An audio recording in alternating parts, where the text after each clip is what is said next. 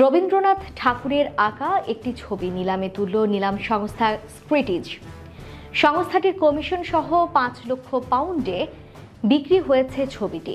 নামহীন ছবিটিকে প্রিস্টিজের সাইটে যুগল নামে উল্লেখ করা হয়েছে।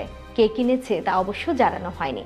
নিলাম সংস্থা সূত্রে এর আগে জানানো হয়েছিল, ছবিটি আটাশি লক্ষ থেকে এক দশমিক তিন কোটি টাকায় বিক্রি হতে পারে বলে আশা করেছে তারা।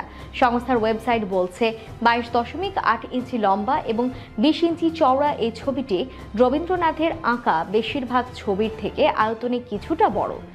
উনিশশো ত্রিশ বা তার অল্প কিছুদিন আগে এই ছবিটি এঁকেছিলেন কবি।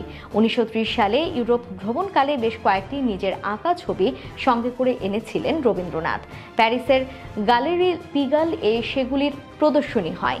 রবীন্দ্রনাথের কাছ থেকেই ছবিটি কিনেছিলেন জার্মান দম্পতি ফ্রেডরিক ও এডিথ অন্দ্রে। তাদের উত্তরসূরিরা ছবিটি নিলাম সংস্থাকে দেন। স্ক্রিটিজ নিউ ইয়র্ক শাখার South Asian modern and contemporary art এই বিভাগের সাম্প্রতিক নিলামে রাখা হয়েছিল ছবিটিকে।